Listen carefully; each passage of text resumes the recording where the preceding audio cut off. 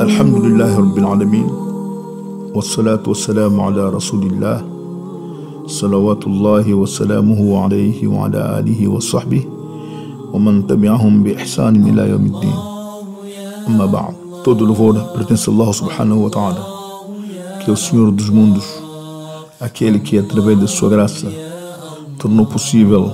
a intuação desses qasaid como uma forma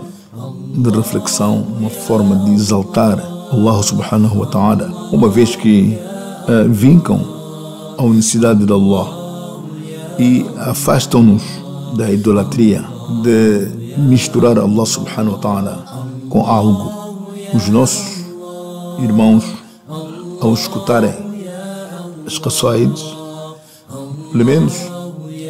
têm Allah como o único que deve ser exaltado e o único merecedor da adoração. Isto ajuda-nos a fortificar nosso imã, a direcionar todo tipo de pedido, todo tipo de preocupação a Allah subhanahu wa ta'ala. É só Allah que merece é, ser mencionado tantas quantas forem as vezes, merece ser exaltado, e qualquer pedido, qualquer preocupação pois ele é o dono da resolução de qualquer tipo de problemas. Pedimos a Allah subhanahu wa ta'ala para nos dar tawfiq, para fortificar o nosso imã, dar-nos amor, criar a paz dentro dos nossos corações.